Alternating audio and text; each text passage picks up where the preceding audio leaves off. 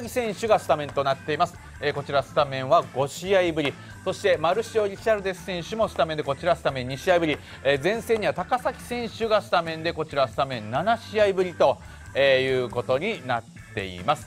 さあ、えー、川崎フロンターレですけども、えー、ディフェンスラインの田中裕介選手が出場停止ということで実藤選手が、えー、ディフェンスラインの右に入ってスタメンということでこちらは初スタメンと、えー、いうことになります。はい、この試合は現地で中継を担当された解説の水沼隆さんと実況の田中裕介さんに振り返っていただきます。さあでは試合後の埼玉スタジアム2002から水沼さんとお届けをしてまいります、はい、えー、今日はですねあの敗れた監督がインタビューで夏場の1点は大きかったっていうゲームになりましたね。そうですね。あの終わってみれば熱い試合でしたよね内容もそして気温も暑かったではゲームハイライトで振り返ってまいりましたえー、ゲーム前なんですけれどもおそらく週末から出てくるのではないかというレッツの新外国人ランコ・デスポトビッチの挨拶もありました。非常にまだ昼間の暑さが残るピッチ両チームの選手が出てまいります。今はきついですよね、本当に時期的に。ただやはりフロンターレ立ち上がりから動いてましたね。動いてましたね。本当に前線は流動的でディフェンスの背後もついてましたし。前半12分です。矢島からジュニーニョ。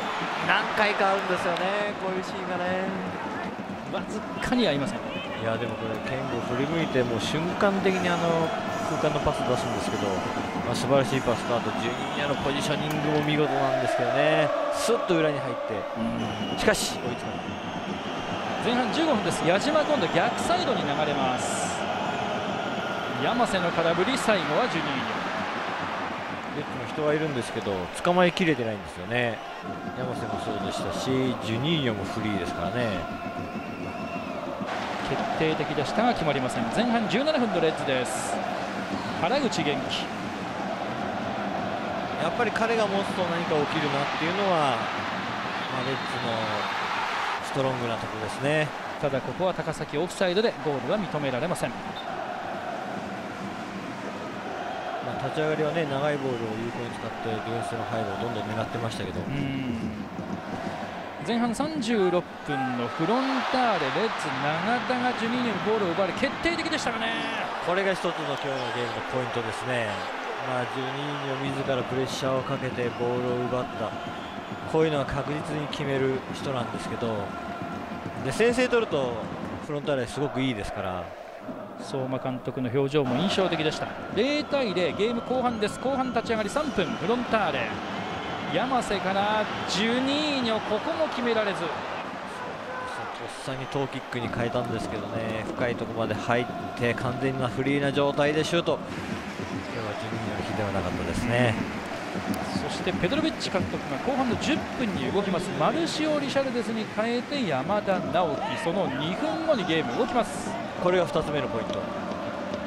山田直樹から。そうなんですね。原口元気。これは素晴らしかった。もう一瞬にしてスタジアムの雰囲気空気を変えましたよねベッツ先生これまではフロンターレペースだっただけにね。そうなんですよ。もうこれで本当に空気が変わってレッツは勢いますしフロンターレはメンタル的にガクッときましたね。夏場の1点っていうのはねこれだったのかなと。そして後半34分フロンターレはメンタルとしてもちょっと落ちてきたところだったですかね。そうですね。あの、まあ、監督も振り返ってましたけどやっぱりパワーがなくなってきたっていうふうにも言ってましたし、まあ、レッツが前がかりに来てたっていうのもあるんですけど明らかにピッチ上の選手たちにあ1点重いなっていうのが感じられた。それのまあ、2失点というか相手にとっては追加点なんですよね。この2点が大きくフロンターレには立ちはだかりました。